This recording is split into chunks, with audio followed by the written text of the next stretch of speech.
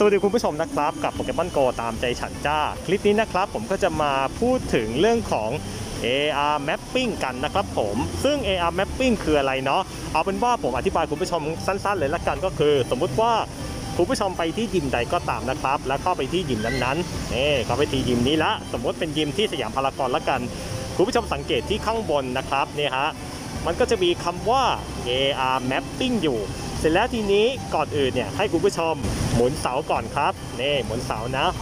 นี่หมุนเสาปั๊บก็ให้นี่มันก็จะมีคำว่าสแกนพารากอนพาร์คมา แล้วประเด็นคือมันคืออะไรเหรอ มันอยู่ที่ field research ครับผมนี่ฮะอยู่ที่ field research ละนี่คุณผู้ชมสังเกตใช่ไหมครับ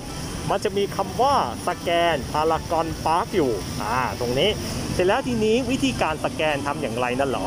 อันดับแรกเลยก็คืออย่างที่บอกไปเมื่อสักครู่นะครับ เข้าไปที่ยิมนี้ แล้วก็ถ้ามันมีเอ AR mapping อยู่ที่ยิมนี้นะครับ ให้คุณผู้ชมกดที่เวลาหมุนเสาครับ คุณผู้ชมก็คงจะไปหมุนที่ขวาล่างเนาะนี่ฮะหรือว่าคุณผู้ชมกดที่ลูกศรข้างบนก็ได้นี่ลูกศรข้างบนที่ขวาบนตรงนี้ เอาอีกรอบนะครับ กดที่ขวาล่างตรงนี้นะครับ หรือกดที่ลูกศรขวาบนตรงนี้ก็ได้นะครับเสร็จแล้วทีนี้ ให้กดที่ลูกศรขวาบนตรงนี้นะครับนี่แล้วก็ทีนี้คุณผู้ชมสังเกตเนี่ยเอาจริงๆตอนนี้มองไม่เห็นเอาเป็นว่าผมบอกคุณผู้ชมง่ายๆแล้วกันว่าที่ขวาบนเนี่ยมันจะมี 3 จุดอยู่ ซึ่งให้คุณผู้ชมกดที่ขวาบนตรงนี้ฮะนี่ฮะแล้วคุณผู้ชมกดสแกน Pokestop ครับปั๊บนี่นี่ฮะเรียบร้อยครับ มันก็จะขึ้นมาว่าให้เป็นอย่างนี้ เอาง่าย ๆเลยครับ ประเด็นหลักของการสแกนโปเกตสต็อปก็คือ ให้คุณผู้ชมสแกนสถานที่ที่ที่ตั้งของยิมอะเอาประมาณนี้ละกันนะฮะ อย่างกรณีนี้ก็อย่างที่บอกครับว่าผมมาที่สยามพารากอนเนี่ย ซึ่งมันเป็นหน้าทางเข้าของสยามพารากอนนะครับ นี่ผมกดโอเคละนี่มันก็จะขึ้นหน้าตาแบบนี้ นี่ฮะให้คุณผู้ชมเล็งไปที่ทางเข้าที่ตรงนี้ฮะที่เป็นเหมือนรูปยิมเลยครับ อ่าเนี่ยฮะสแกนแบบนี้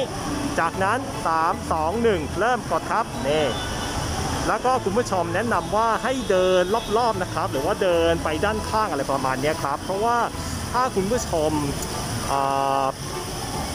ถ่ายนิ่งๆ หมายถึงว่ายืนนิ่งๆถ่ายนะครับ มันจะขึ้นฟ้องว่า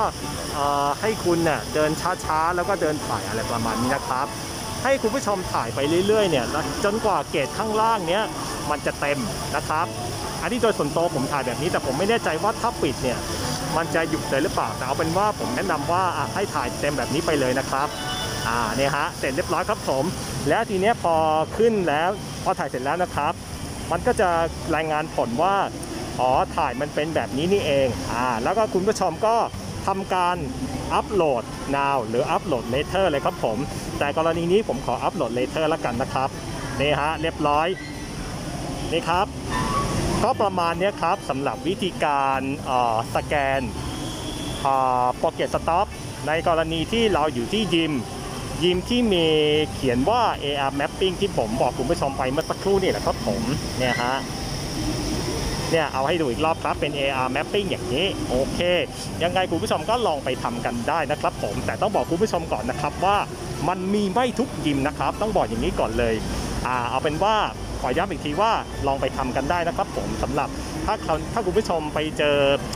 ยิมที่เป็น AR mapping เนี่ยก็ลองสแกนดูนะครับสำหรับใครที่กำลังขาดแคลนไอเทมอยู่เนาะโอเค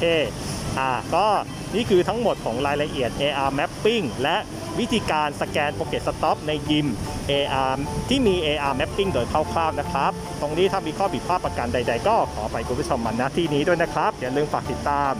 กด subscribe ช่องผมกันด้วยจ้า เจอกันใหม่คลิปหน้านะครับ ไปแล้วจ้า สวัสดีครับ